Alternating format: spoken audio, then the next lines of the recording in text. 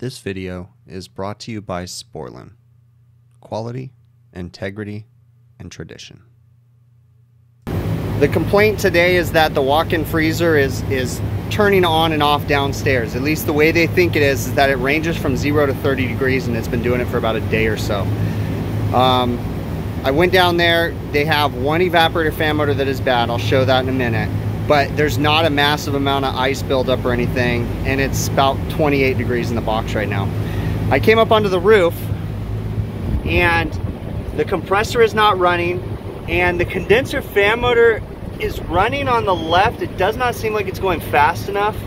And the one on the right is barely running. So we're gonna pull this cover off and get dig into this and figure out what's up. Okay, so we're gonna get our meter out and check voltages. The compressor is hot to touch.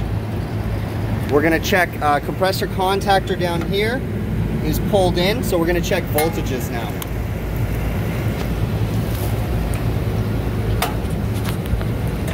All right, so I'm gonna check the top of the contactor, which is line voltage. Line one to two is 201. Line two to three is 204. And line one to three is 203. So we have 208 volts, three phase coming into the contactor. Let's test out. One to two is 201.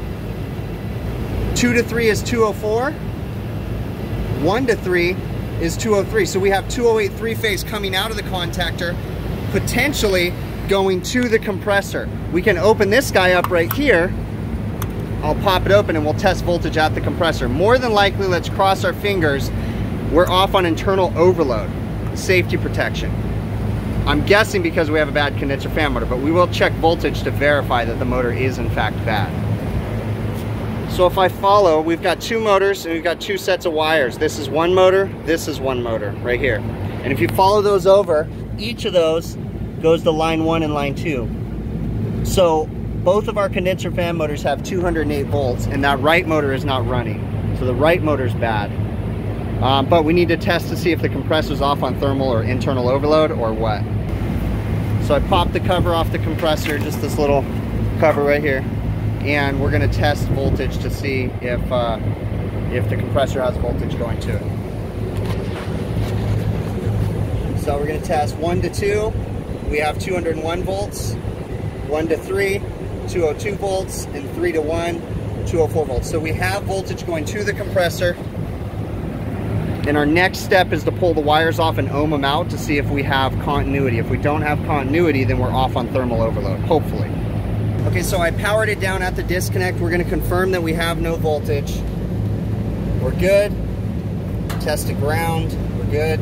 Okay, so now we're just gonna pull the wires off. Now, this is a reciprocating compressor. It's a piston-driven compressor. So it does not matter the rotation. It can go backwards or forwards. It doesn't matter which way the piston goes up or down. It, it's all good, okay? So now we're gonna put our meter on continuity. We're gonna test continuity between the windings. One to two is open. One to three is open. And then three to two is open. So we're open on all of our windings. And that's right in there. So we're gonna try to cool this compressor off and hope in the meantime, we'll change that condenser fan motor too, and then try to cool this guy off and then hope that it resets. All right, so I found this new product on social media. It's called a Cool Presser. Um, I'll put a link down in the video. I have no affiliation with them. I just, I bought one from them. Um, they don't even sell them at supply houses yet. It's someone that made them themselves, but so far it's pretty cool. I mean you can always cool off a compressor yourself but the cool thing is, is that's magnetic and there's a big enough gap between the compressor and the magnets in the middle so that way it allows the water to flow over the compressor to reset the thermal overload faster. So we're going to let this run for about five six minutes cool that compressor off and then uh, we'll check to see if it reset. All right so i've been letting this run for about 20 minutes or so. The problem is is that we're out in uh, palm desert california it's probably about 100 and, I don't know, 110 today. And their water temperature is probably 85 degrees. So it took forever. Once I cleared the lines, now that water's probably down to 80 after I cleared quite a bit of water of this thing. We flooded this whole area with water. Okay, so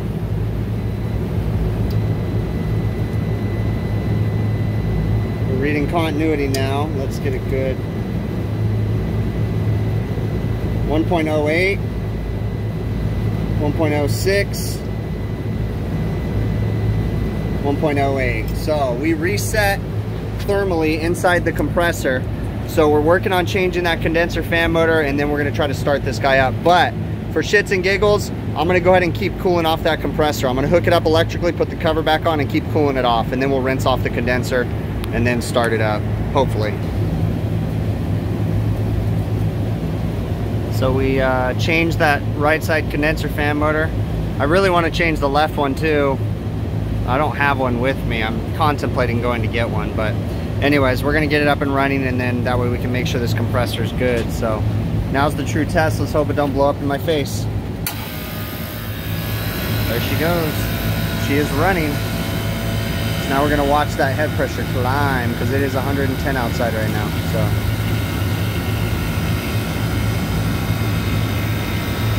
Condenser fan motors look like they're spinning slow and stuff, but it's the camera. It's spinning at correct speed. It's moving.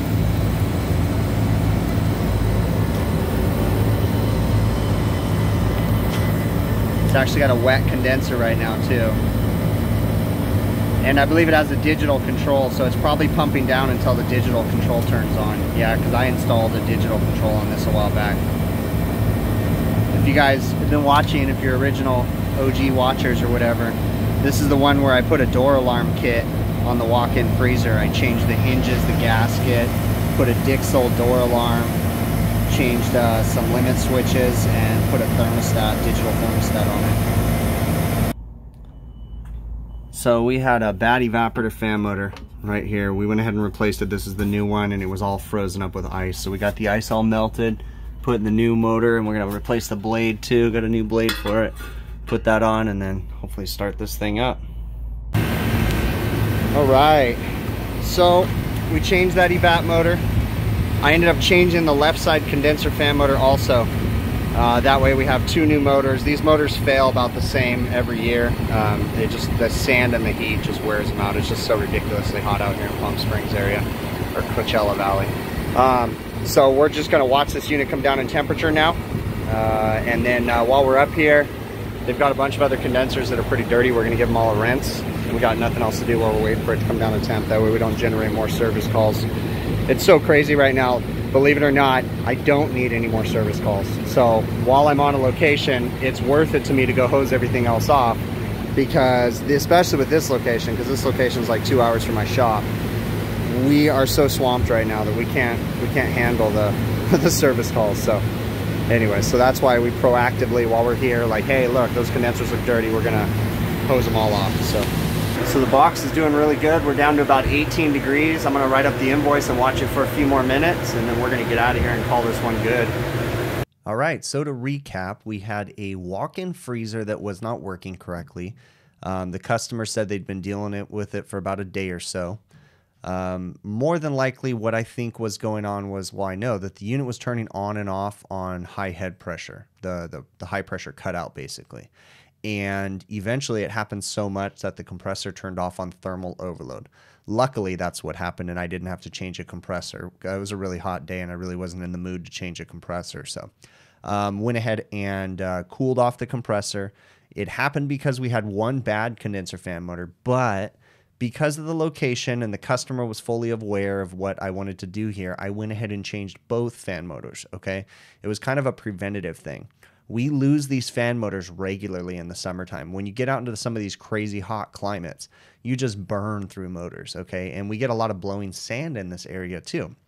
So we did that just to eliminate another nuisance service call. We changed both condenser fan motors at the same time, replaced the evaporator fan motor that was bad downstairs, and then went ahead and cooled off the compressor. I was able to get it to thermally reset and started it back up, and everything else worked properly on the box. We were running a clear sight glass. Um, I did not wait for it to come down to temperature. I watched it come down to I think when I when I last showed a clip in the camera, um, I think it was at like 18 degrees or something like that. But I think I ended up watching it come down to about 12 degrees, and then uh, that's when we left it and it's it's since been like three weeks since i did that call so everything's been working fine and the customer was happy um, you know sometimes we have to make uh, you know decisions like this as far as changing that extra condenser fan motor Um, you don't ever want to do things without telling your customers. Uh, obviously, I go down and I explain here's the situation. We've got one bad fan motor, you know, and I explained it, it's best if we go ahead and replace both, okay? Uh, because the cost for them to have me come back out is going to far exceed the, the extra cost for just one of those motors. And I was already there, so why not? Um, and they were totally ecstatic that I gave them the option. And, you know, that's uh, those are the kind of customers that I like to deal with is the customers that understand that we want to look out for their best interests and also, you know, so that way I can be a profitable business, but at the same time, I want the customer to be happy. So, you know, I can make money, you know, by selling them a motor or two that I need to or that they need, right? But then it's eliminating future service calls okay? And we're always looking out for the customer's best interest. We're never trying to rip them off. It's not it doesn't benefit me to rip a customer off on one single call right? Because i want them to continue to call me over and over and over again when things break. Because there's no perfectly operating system that never breaks but if i do everything i can to make that customer trust me then they're going to continue to call me back and i'm going to get their repeat business so that's just the way that i deal with things um, I'm sure you've seen me do this in my videos before, you know, and and again, just understand the customer was fully aware that they really only needed one motor, but it was better if we changed them both too. So, all right, hey, thank you guys so very much for taking the time to watch this video. I really, really appreciate it, and uh, we will catch you guys on the next one. Okay.